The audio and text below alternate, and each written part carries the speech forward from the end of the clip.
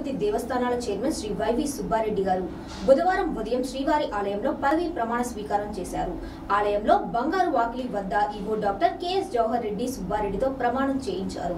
అనంతరం ఆయన కుటుంబ సభ్యులతో స్వామివారిని దర్శించుకున్నారు. రంగనాయకుల మండపంలో పండితుల చేత వేద ఆశీర్వచనం చేశారు.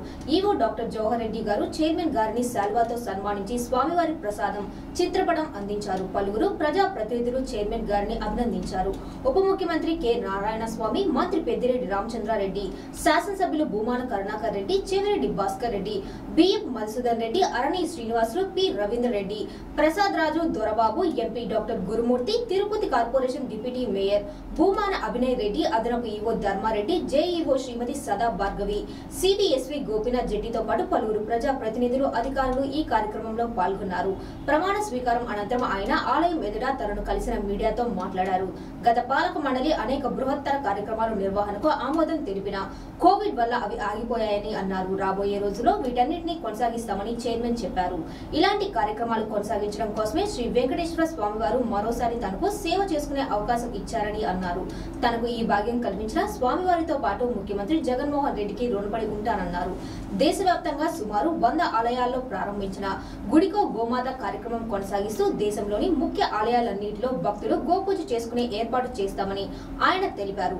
ప్రపంచ ప్రజలంతా ఆరోగ్యంగా ఉండాలని కోవిడ్ నుండి విముక్తి లభించేలా చేయాలని శ్రీవారిని ప్రార్థిస్తూ గత రెండేళ్ళుగా నిర్వహిస్తున్న ఆధ్యాత్మిక ధార్మిక కార్యక్రమాలు కోవిడ్ పూర్తిగా పోయే వరకు కొనసాగిస్తామని చెప్పారు. గో ఆధారిత ఎరువుల ద్వారానే పండించిన ఉత్పత్తులతో స్వామివారికి నిత్య నైవేద్యం సమర్పించే కార్యక్రమం వంద రోజులకు పైగా కొనసాగుతుందని అన్నారు.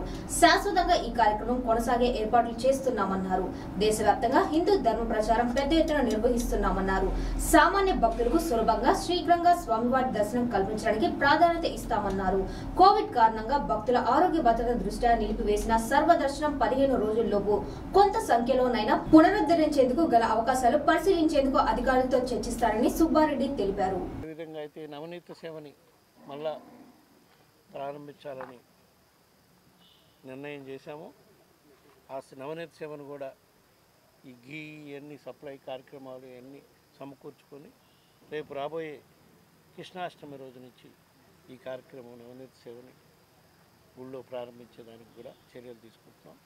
అదేవిధంగా ఈ నవనీత సేవతో పాటు దీపాలకి దేవాలయంలో ఇచ్చే దీపాలకు కూడా స్వచ్ఛమైన ఘీ వాడే కార్యక్రమం చేయాలి అని గో ఆధారిత ఘీ వాడే కార్యక్రమం చేయాలని కూడా నిర్ణయించడం జరిగింది.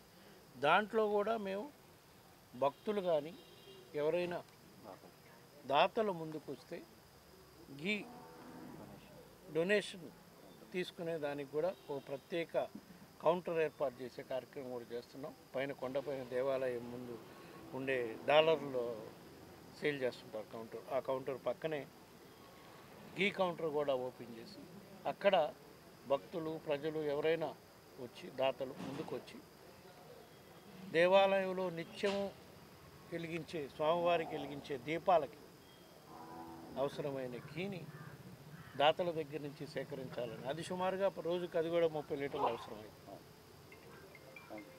సో దాన్ని దాన్ని కూడా ప్రస్తుతం మనమే ఇక్కడ తయారు చేయాలంటే కొంచెం కష్టతరంగా ఉంది. అన్నీ ఒక్కసారి ముందు నైవేద్యం వరకు మనం చేసి ఇది దాతల్ని భక్తుల్ని దాతల్ని అడుగుదాం. ఎవరైనా దాతలు ముందుకు వచ్చి గోవులు ఉండే దాతలు చాలామంది ఉంటారు. లేదా గోవు గీ మార్కెట్లో కూడా అమ్ముతారు. అది తీసుకొచ్చి డొనేషన్ ఇస్తే మంచిది కాబట్టి స్వామివారి పూజకి దీపాలు కలిగిస్తారు కాబట్టి ఎవరైనా భక్తులు ముందుకొచ్చి దాతలు భక్తులు ముందుకొచ్చి ఘీ స్వామివారి దీపాల కోసం అవసరమైన ఘీని డొనేట్ చేయాలనుకున్నప్పుడు త్వరలోనే పైన కౌంటర్ ఓపెన్ చేస్తాం. భక్తులు ముందుకొచ్చి ఘీ డొనేట్ చేసేవాడు చేయొచ్చు అని చెప్పి ఈ సందర్భంగా